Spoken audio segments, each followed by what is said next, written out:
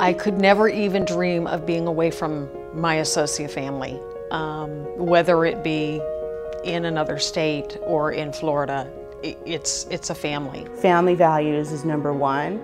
That's, that's really big to me. It, it speaks volumes of a company who is able to put that before profitability. Everybody is there for you. Everybody is helping you.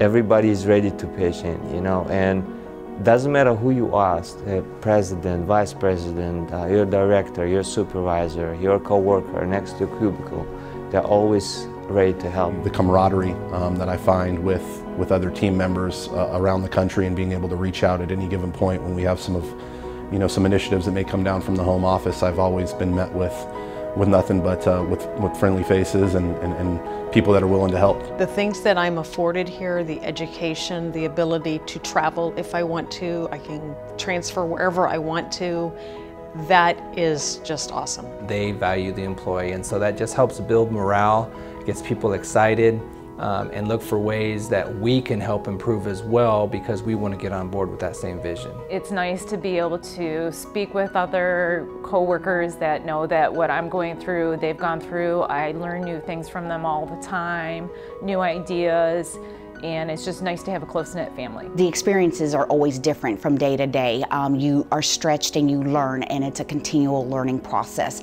No matter if you've been here three months or you've been here eight to 10 years, you know, you're always learning something new.